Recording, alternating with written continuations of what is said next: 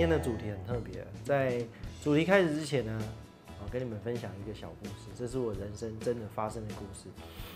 有一次我在一个面摊前面，我我就在等我的餐点嘛，后来有一个阿伯骑摩托车过来，他在骑的途中还没有下车，他就开始大喊点餐，应该是蛮熟的。他说：“哎、我要被几碗意面。”然后里面的老板就说：“呵。”然后马上丢了一球意面下去。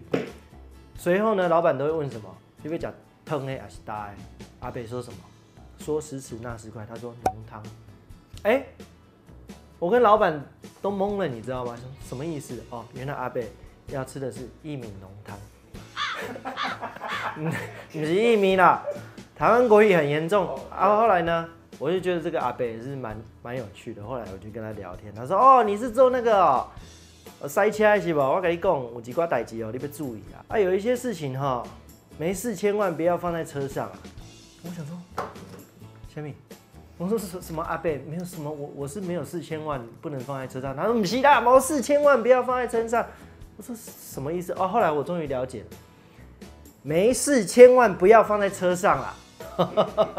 我们今天就来帮大家揭晓，不能放在车上的这些东西，除非你有四千万。同学们，上课啦！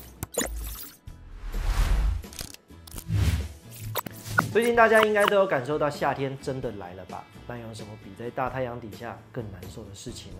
那肯定是在太阳底下晒了一整天的车子嘛。根据一份刊登在温度 temperature 的研究显示，如果车外温度高达摄氏三十五度，在阳光下曝晒一个小时，这个时候呢，方向盘附近的表面温度是，座椅呢是五十一度左右，仪表板附近的温度更会高达六十九度，整体车内的气温呢会来到四十七度。如果持续曝晒超过一个小时，这个时候空气的温度将会达到六十度。你要知道，除了人待在里面可能会中暑甚至热衰竭之外，车内有很多东西也会产生变化。比如天气热的时候，想要来瓶冰凉的汽水，这种有气的饮料最怕就是遇到高温，尤其车辆行进的过程当中还会有震动啊、摇晃啊，这都让瓶内的二氧化碳相当不稳定。如果把这一类有气的碳酸饮料放置在车内，太阳那么一晒，温度压力一升高，就有可能会喷洒出来。虽然不至于要命，但是你想想看，饮料洒出来啊，在车内光是清理就超级麻烦。如果第一时间没有发现，还会引来蚂蚁爬入车内，是我绝对没有办法接受。那么有人一定会说，哎，不放碳酸饮料，我放瓶水，可以了吧？水不至于会爆开了吧？哦，但有一点你可能忽略了哦，保特瓶的材质其实并不耐热，尤其刚刚说到车内的温度可能达到六十甚至七十度，高温的环境呢，就容易让保特瓶释出有毒的物质啊，你再把它喝到体内，对健康来说也是有潜在风险的。另外，开瓶。对口饮用后的瓶口呢，在闷热的环境之下，也让细菌滋生的更快，所以非常不建议再继续饮用。最好的方式啊，就是停车之后把食物饮料通通带下车，不但节省呃到时候清理的麻烦，更是为大家的健康着想啊。当然，有气的不仅仅是可乐、汽水这种饮料而已，还有像是车内的除臭剂啊、定型喷雾啊、止汗剂等等这一类高压喷瓶。这类喷雾罐啊，其实比大家想象中的还要更危险很多，因为罐子里面都含有高压的气体，瓶罐上呢也都有明显的标示出严禁靠近高温火源。所以如果在高温的车内啊这么一曝晒，轻则内部的液体泄出，哇，这个可能比饮料 更难清理吧？看你是什么东西啊。不过这个算小事啦，因为如果严重的话，甚至会有爆裂的危险。对车或对人都是有危害的，而且这一类有压力的瓶罐，在丢弃的时候，你也要特别注意，不能当一般垃圾来丢弃啊，不然有可能会因为垃圾车在压缩垃圾的过程当中造成爆炸等等的意外，一定要做好分类哦。说到夏天，太阳眼镜也是必备的物品之一啦。很多人为了避免刺眼的阳光啊，会选择戴太阳眼镜开车，又或者有另外一些人开车的时候习惯换另外一副眼镜，来让驾驶的过程更安全。虽然说眼镜在高温下不会有爆炸的问题，但的的确确有着另一道安全的隐患。有利用到凸透镜的镜片，就有可能会因为折射产生聚光性。特别是下车的时候，随手放在仪表台或中央安座上。当火辣的阳光照入车内，再透过镜片折射形成聚焦的光点，这时候就有可能会产生高温，然后损害你的内装。BBQ 内装，你能想象你正在哀嚎的内装吗？哦，甚至在国外啊，还有因此导致火烧车的事件产生。而且刚刚提到的瓶装水，其实也是有机会发生折射聚光的效应。所以没事，千万不要把这一类的物品放在车上。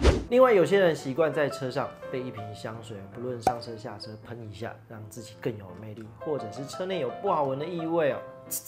好，搞定，同时也可以获得解决嘛。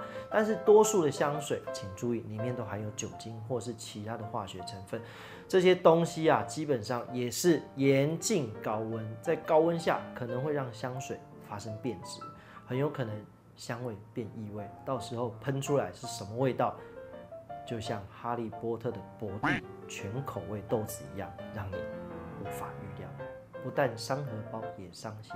早知道伤心总是难免的，你又何苦一往情深呢？你们那什么表情？我甚不是满意。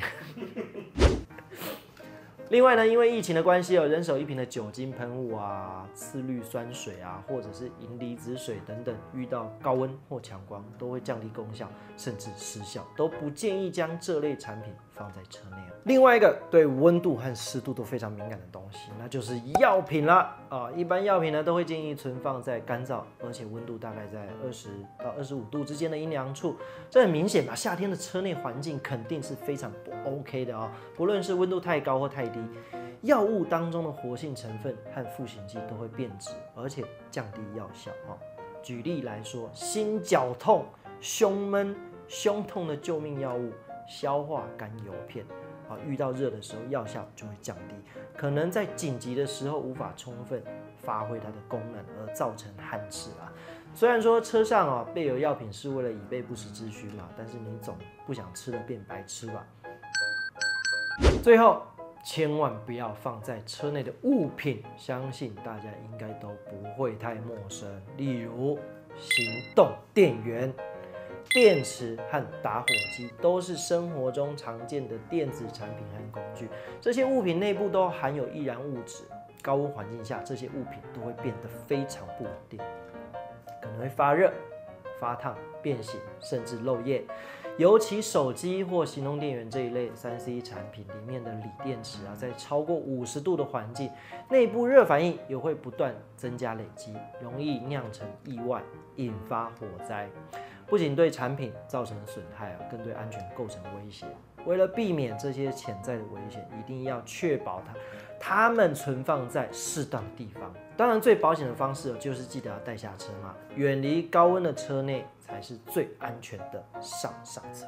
好的，今天跟各位聊了很多关于夏季哦，没四千万不要遗留在车内的物品，各位赶快检查一下自己的车内到底有没有这些潜在的危险因子哦，造成自己的困扰，这个是小事嘛，影响到他人，甚至烧掉一整栋楼，闹出人命，那还真的不一定是四千万能够摆平的哦。最后要问问各位，还有什么东西是绝对不能放在车内的东西吗？有没有我们遗漏掉的？欢迎各位在下方留言跟大家分享。如果你还想要再听更多风学堂不同的主题的话，欢迎大家在下面留言，让我们知道。那么今天风学堂我们就下课啦，我是以晨，我们下次见，拜拜。我知道了，condom 可不可以放在车上？我跟你讲，这个东西绝对不能放在车内，不然你也有可能会闹出人命，也很可能没有四千万，不要搞这个事情。